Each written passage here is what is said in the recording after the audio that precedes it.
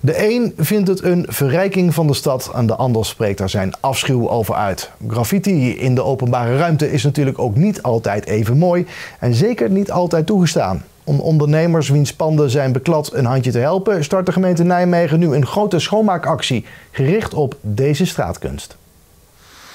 Uh, graffiti overal. Hè. Het is een uh, verloedering van, uh, van de binnenstad. En vaak op panden waar je het gewoon niet wilt. Hè. Iedereen die de stad binnenkomt, die ziet die vieze, smerige panden, zeg maar. En ja, daar willen we gewoon vanaf. Het moet gewoon aantrekkelijk zijn om in de binnenstad te komen. En we gaan nu de komende maanden hè, proberen...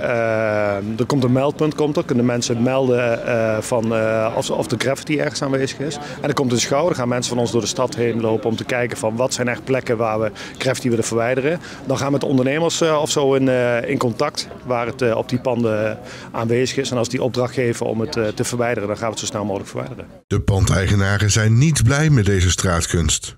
Uh, vooral van de tags. Dat vind ik echt jammer dat dat op de muren staat. Vind ik zonde van de, van de muren, van het aanzicht. Dus uh, ja, ik ben blij dat dat, dat verwijderd gaat worden. De graffiti is lastig te verwijderen.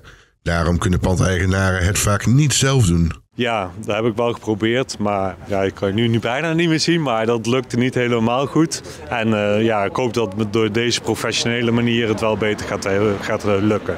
Ook de wethouder steekt zijn handen uit de mouwen. Nou, ik ga zelf uh, het, uh, de eerste keer uh, het graffiti verwijderen. Ik heb het net heb ik het, in de oploslaag gezet en dan ga ik hem nu dadelijk de gevel ga ik, schoonspuiten als, als voorbeeld zeg maar, voor hoe we hopelijk de hele stad gaan krijgen.